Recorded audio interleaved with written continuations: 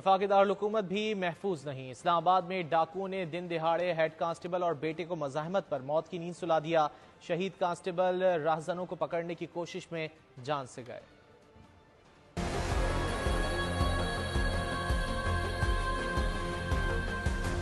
इस्लामाबाद में street criminal बेलगाम।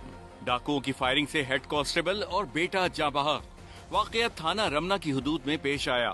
CCTV footage सामने आ गई। सुबह के साढ़े सात बजे हेड कांस्टेबल मोहम्मद अशरफ ने राहसनों को वारदात करते देखा, पकड़ने की कोशिश की।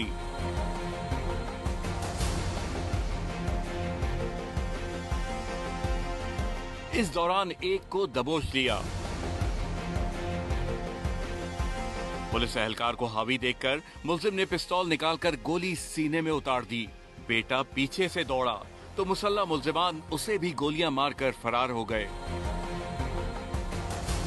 शहीद के बेटे ने बताया कि मोटरसाइकिल चोरी करने वाले ग्रोह को पहचान दिया था।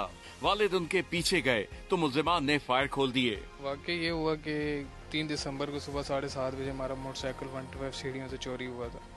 उसके बाद हम काफ़ी अबूर में पीछे लगे रहे उनके तो काफ़ी फुटेज वगैरह निकलवाई है।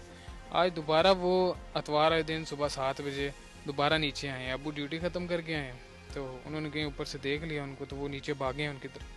भागे उन दोनों को गिरा लिया, दोनों ने वहाँ उनको एक फायर अबू को मारा, फिर छोटा भाई पीछे से भागे।